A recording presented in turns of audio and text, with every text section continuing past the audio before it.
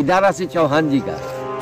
उनका अपना स्वयं भला से मतलब है, चौहान समाज से कोई भला नहीं। ये जहाँ जहाँ जाते हैं बीएसपी में जाते हैं, सपा में जाते हैं, भाजपा में आते हैं, पाँच साल मलाई काटते हैं और काट करके चौहान समाज को बेचने का काम करते हैं। इनके जाने आने से कहीं चौहान समाज को कोई फ़र्क पड़ने वाला नहीं है। ये जब से टिकट कटने वाला था। सर्वे रिपोर्ट उनके अगेंस्ट थी। इसलिए हार के चलते फिर वो भाग करके सोचे कि मैं सपा में चलूँ और सपा में एक राष्ट्र का चौहान का नेता इकलौता बन करके फिर चौहान समाज को सपा में बेचने का काम करूँ, लेकिन ऐसा होने वाला नहीं।